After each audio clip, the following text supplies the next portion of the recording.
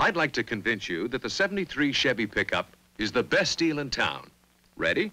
Chevy builds its solid, stable ride on a tough new frame with a massive girder beam front suspension. New load control rear leaf springs, too, for extraordinarily smooth riding. All on a wheelbase that's up to four and a half inches longer this year. Handling is especially quick and sure. New frame-mounted fuel tank. Engines, up to a 454 cubic inch V8 available with a selection of two more V8s and two sixes. And full inner fenders to help ward off corrosion.